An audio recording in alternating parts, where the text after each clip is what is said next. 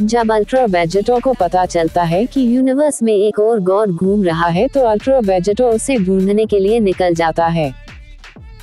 उस गॉड को ढूँढने समय अल्ट्रा वेजेटो को पता चलता है कि उस गॉड को अल्ट्रा गोजेटा कहा जाता है।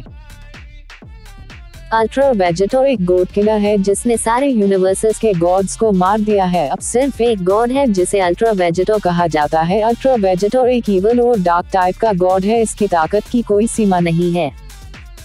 अल्ट्रा वेजेटो ने सुपर शेनरॉन और ओमनी किंग को हरा दिया है।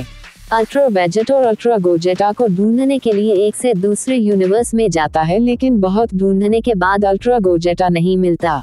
इसलिए अल्ट्रा वेजेटो अपने यूनिवर्स में लौट जाता है। अपने यूनिवर्स में लौटने पर अल्ट्रा वेजेटो को एक न्यू की महसूस होती है। उसकी की पावर बहुत ज़्यादा थी। वेजेटो समझ जाता है कि ये वही गॉड है जिसे वो ढूँढने गया है। वेजेटो उसकी ओर जाता है। उसे मारने के लिए दूसरी ओर अल्ट्रा गोजेटा भी वेजेटो की एनर्जी को महसूस कर लेता है।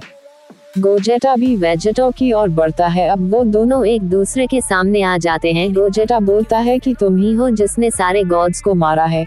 वेजेटो कहता है हाँ और अब तुम्हारी बारी है। वेजेटो गोजेटा पर जानलेवा हमला कर देता है, लेकिन गोजेटा वहाँ से गायब हो जाता है, क्योंकि यदि उस जगह पर ये दोनों लड़ाई करते तो लोग मारे जाते, इसलिए गोजेटा वहाँ से गायब हो जाता है। वेजेटो को किसी से कोई मतलब नहीं था, चाहे कोई मरे या जी अब वेजेटो गोजेटा का पीछा करता है। वेजेटो किसी भी गॉड को ज़िंदा नहीं देखना चाहता था। वेजेटो एक सन की गॉड है, जो किसी को भी आसानी से मार देता था। गोजेटा एक न्यू गैलेक्सी को क्रिएट कर देता है जिससे वो आसानी से लड़ सके।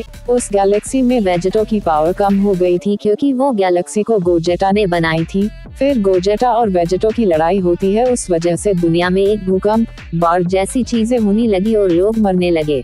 बहुत देर तक उन दोनों की लड़ाई होती है और अल्ट्रा गोजेटा अल्ट्रा वेजेटो को हरा देता है। गोजेटा कहता है कि मैं तुम्हें छोड़ रहा हूँ, लेकिन अब तुमने और किसी को मारा तो मैं तुम्हें हमेशा के लिए कैद कर दूँगा। अब जाओ और कभी मत आना। वेजेटो बहुत बुरी तरह से हारता है और वेजेटो वहाँ से दूर चला जाता है।